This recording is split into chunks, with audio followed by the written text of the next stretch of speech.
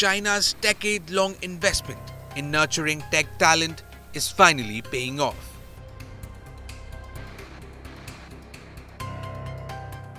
For years, Silicon Valley in California has been the undisputed leader of the tech world. Whether it's Microsoft, Google, Apple, or any other tech giant, technology driven startups and enterprises have cemented America's position as a global hub for innovation and talent. But the landscape is shifting. We are entering an era where machines don't just mimic human intelligence, they often surpass it. Artificial intelligence or AI and machine learning are at the forefront of this transformation. And in this AI revolution, a new player is emerging as a serious contender to Silicon Valley. Yes, we're talking about China. China has evolved beyond just being the world's manufacturing powerhouse. It's now positioning itself as a leader in the global AI race. Its homegrown startup, DeepSeek, has just sent shockwaves through Silicon Valley. China's strategy of investing in tech talent is yielding results. But there are challenges ahead. First, China's AI ecosystem needs more than just funding and resources, it needs freedom. True innovation flourishes in an atmosphere of intellectual freedom and open collaboration. Second, China has long struggled with brain drain. According to a recent report by Macropolo, a think tank based in Chicago, Chinese nationals make up 38% of top AI researchers working in America, outnumbering researchers from all other countries, including the US itself. However, this trend is slowly reversing. China is making a bold leap from imitation to innovation. To prevent talent from leaving, it's fostering a more competitive research environment, offering greater autonomy and introducing strong incentives. And it's working. More and more Chinese born scientists trained abroad are now returning home.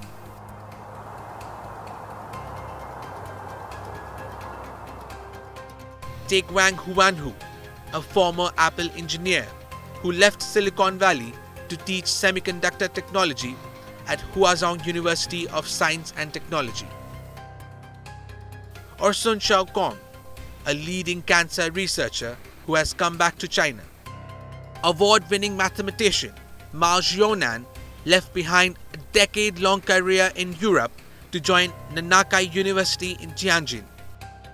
Zhang Yongzhao, a physicist who unlocked secrets of superfast fluids, is now part of China's new National Hypersonic Laboratory in Beijing.